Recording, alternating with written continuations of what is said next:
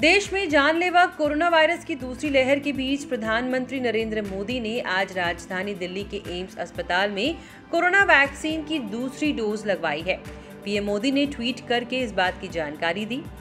इससे पहले पीएम मोदी को भारत बायोटेक की देश में विकसित कोवैक्सीन की पहली डोज एक मार्च को लगी थी।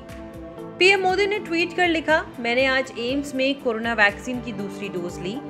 टीकाकरण कुछ उन तरीकों में से एक है जिससे हम वायरस को हरा सकते हैं। अगर आप वैक्सीन लेने के योग्य है तो जल्द लें। जल्द CoWIN dot G O V dot in पर अपना रजिस्ट्रेशन कराएँ। पीएम मोदी को टीके की दूसरी डोज पंजाब की नर्स निशा शर्मा ने दी।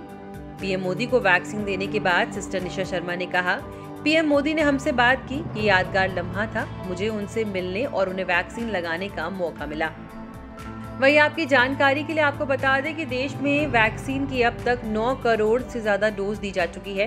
पिछले कुछ हफ्तों में भारत में फिर से कोरोना के मामलों में जारी उछाल के बीच स्वास्थ्य मंत्रालय ने कहा कि प्राथमिकता के आधार पर टीकाकरण किया जा रहा है। एक अप्रैल को टीकाकरण अभियान का तीसरा चरण शुरू हुआ है, जिसके तहत 45 साल या उससे ज़्यादा उम्र के किसी भी व्यक्ति को कोरोना डोज लगवाने की अनुमति है।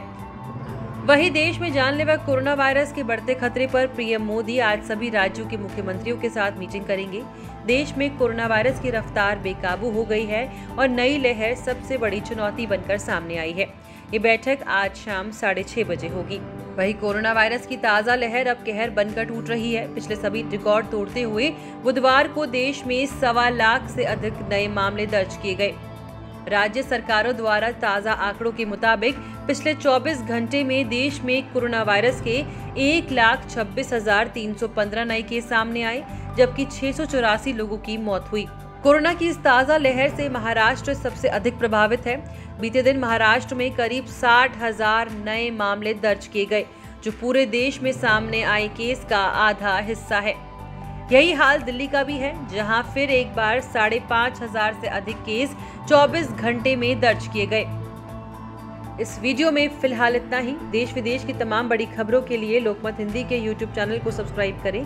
अगर आप ये वीडियो फेसबुक में देख रहे हैं तो हमारे फेसबुक पेज को फॉलो करें।